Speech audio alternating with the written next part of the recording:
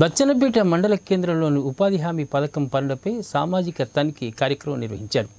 ఈ సందర్భంగా ఫీల్డ్ అసిస్టెంట్లు క్షేత్రస్థాయిలో పరిశీలించడం లేదని డిఆర్డీ రామరెడ్డి ఆగ్రహం వ్యక్తం చేశారు.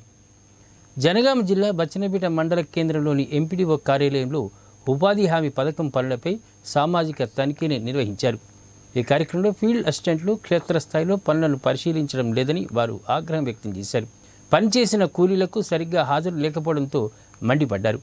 మేనేజ్మెంట్లో రైతుల సంతకాలు లేకుండా ఎంబీలు చేయటం ఏమిటని ప్రశ్నించారు. వివిధ గ్రామాల్లో తప్పిదాలు చేసిన ఫీల్డ్ అసిస్టెంట్లకు పీడీ రామరెడ్డి జరిమానాలు విధించారు.